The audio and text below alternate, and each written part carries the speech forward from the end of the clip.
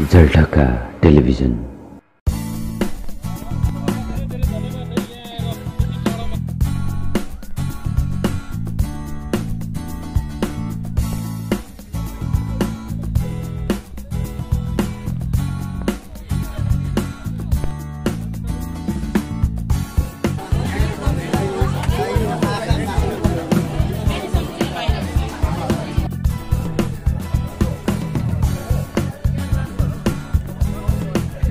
Sikkim Manipal हस्पिटलले free mega camp Kanchenjunga trust अनि project रिट्रिट आउटको दुईवटाको संयुक्त आयोजनामा यसरी गरिरहेको छ।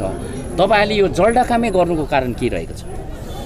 विशेष के भनेदेखिलाई आज हामी धेरै खुसी छौँ कि हाम्रो भेगमा हामीले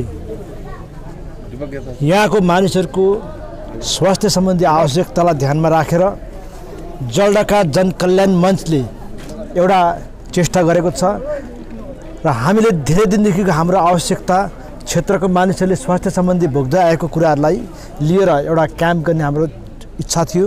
र त्यसलाई हामीले कञ्चनजङ्घा ट्रस्ट दार्जिलिङ अनि project project reaching out foundation गुरुबथानको सहयोगमा अनि क्षेत्रको एउटा सामाजिक संस्था जलडका जनकल्याण मञ्चको अगुवाईमा यो एउटा मेगा हेल्थ निशुल्क हेल्थ क्याम्प राख्ने जुन एउटा सुयोग पाएको छौँ र यसको निम्ति हामी कञ्चनजङ्घा ट्रस्ट दार्जिलिङ अनि गुरुबथान रिचिङ आउट फाउन्डेसनलाई हामी धेरै धेरै धन्यवाद दिन दिन चाहन्छौँ र अनि यो कार्यक्रमलाई सञ्चालन गर्न अथवा आजको दिनसम्म यसरी धेरै हन्ड्रेड पर्सेन्ट सक्सेस हुनमा हामीलाई सहयोग दिनुहुने सम्पूर्ण यहाँका हाम्रा दाजुभाइ दिदीबहिनीहरू सङ्घ संस्थाहरू आज हाम्रो यो प्रोग्रामलाई हामीलाई यत्रो ठुलो गर्मीमा हामीलाई हाम्रो प्यासन पार्टीहरूलाई प्यासनहरूलाई जुन तिर्खाको निम्ति उहाँहरूलाई जुन पानीको व्यवस्था गरिदिएर विश्वराज फाउन्डेसन गैरिवासले पनि हामीलाई सहयोग दिनुभएको छ।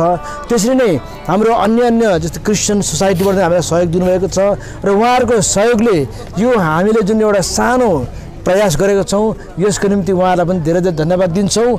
अनि सबैभन्दा बेसी धन्यवाद जसले आज बिमारीहरूलाई आफ्नो आफ्नो गाउँ छर छिमेकीमा हाम्रो यो प्रयासको निम्ति सन्देश पुर्याएर उहाँहरूले आजको यो क्याम्प सक्सेस गर्ने निम्ति बिमारी यहाँसम्म ल्याइदिनु भएको छ।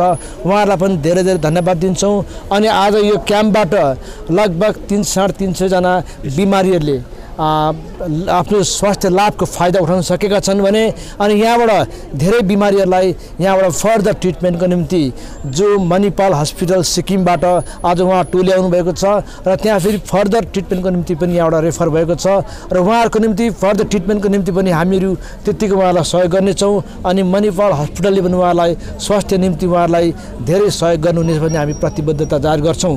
र यसरी तपाईँहरूको विभिन्न च्यानल मार्फत यो हाम्रो सन्देश यसरी प्रसारण गर्नु दिनुभए मौका दिनुभएकोमा तपाईँहरूलाई धन्यवाद दिन्छौँ र आगामी दिनमा हामी यसरी नै एउटा सोसियल अर्गनाइजेसनलाई अगाडि बढाउँदै गाउँ समाजलाई सामाजिक सेवाहरू दिन पाऊँ भन्ने एउटा इच्छा पनि हामी जाहेर गर्छौँ। धन्यवाद।